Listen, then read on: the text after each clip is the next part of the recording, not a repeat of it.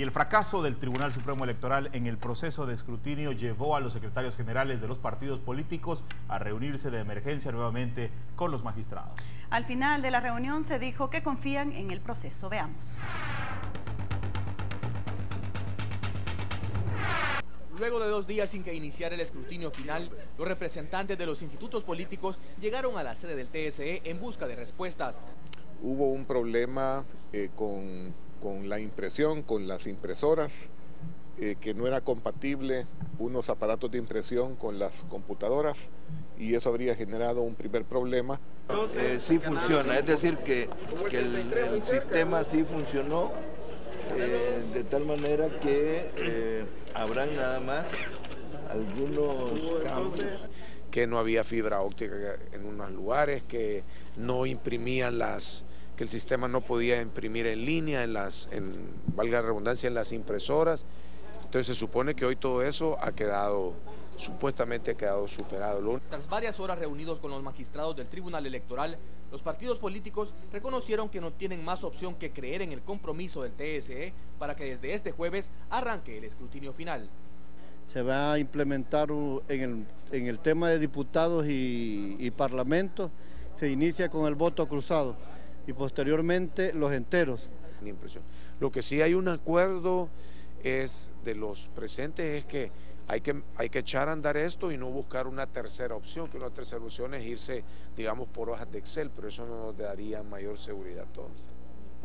Eh, creo que los salvadoreños eh, hemos salido de problemas más complicados, no es que estoy diciendo que no ha pasado nada, pero tenemos que seguir adelante. Los miembros del ente colegiado aseguraron que los problemas en el sistema informático han sido superados. Me da gusto que sinceramente todos los partidos políticos nos han estado apoyando en este gran esfuerzo por los eh, por las cosas que nos han sucedido en cuanto a las fallas que hemos tenido en cuanto a, al sistema informático. El magistrado Miguel Ángel Ortiz también se desmarcó de la denuncia de sabotaje que hiciera el presidente del tribunal, Julio Olivo. Mire, yo no tengo ninguna información al respecto. Es más, hoy tomamos el acuerdo de pedir información a los responsables, a las empresas, para ver si efectivamente eh, se puede dictaminar si ha habido problemas solamente administrativos o otro tipo. Eso lo investigaremos. En esta reunión se informó además que el acceso al escrutinio final estará prohibido para los medios de comunicación. Para Teleprensa, Canal 33, Armando Urquilla.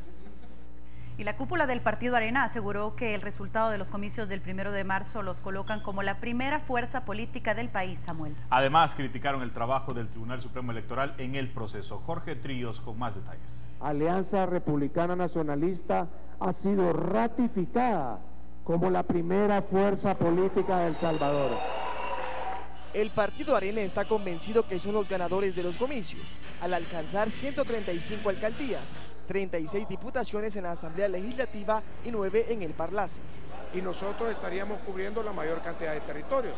Lo que pasa es que el FMLN no quiere aceptar, por ejemplo, que han perdido bastiones, como por ejemplo Arcatao y Arambala. Se declaran vigilantes del escrutinio final, el cual aseguran ha tenido un grave retraso. Proceso que por el bien de nuestro sistema democrático debe ser lo más transparente, Hoy por hoy el país está en vilo. No hay datos oficiales. Además, Arena culpa al Tribunal Supremo Electoral de los problemas en el sistema de transmisión y se refieren en concreto al presidente. Que el presidente del Tribunal Supremo Electoral, en un intento de lavarse las manos de su responsabilidad y como cortina de humo, esté lanzando insinuaciones y acusaciones totalmente infundadas sobre sabotajes en el proceso de transmisión. Yo espero que esto no sea un complot, porque definitivamente a estas alturas nunca se había dado la situación que tenemos actualmente, donde no existe eh, unos datos preliminares de parte del Tribunal Supremo Electoral. Advirtieron que si el tribunal no aplica los datos del escrutinio final, ellos divulgarán los propios a partir de sus registros. Para Teleprensa Canal 33, Jorge Trillos.